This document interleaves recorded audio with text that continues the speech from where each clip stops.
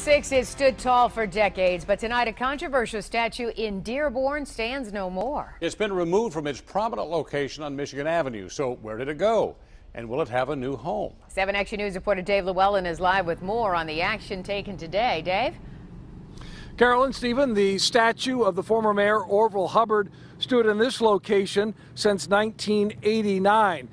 It's a story we've been following since July. Today, that statue is gone. Workers here removed it. A legacy removed. Today, the 10 foot statue of former Dearborn Mayor Orville Hubbard was taken down from its location in front of Old City Hall. Attorney Fatina Abdrabboh calls it a victory for Dearborn residents. Today, are, are happy that uh, the city of Dearborn has taken one step towards um, making the wrong right. Abdrabboh is director of the American Arab Anti Discrimination Committee. She wrote City Council back in July asking that the statue be removed. Mayor Hubbard uh, is a staunch uh, segregationist, as a open anti-black uh, mayor who ran a platform as such, a man who openly used the N-word.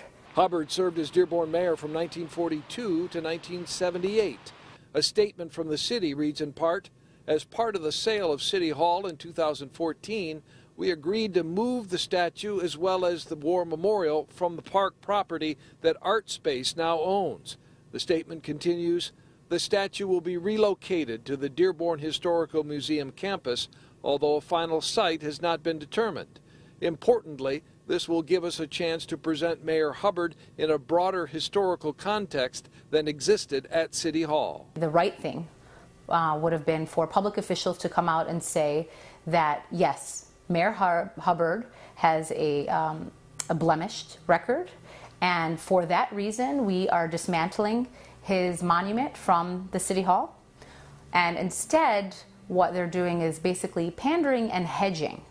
And that is uh, disappointing.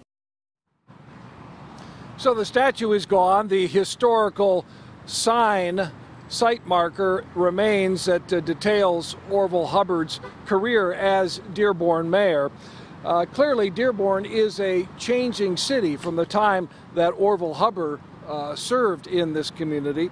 Uh, it is largely uh, Arab American now, with a growing African American population as well.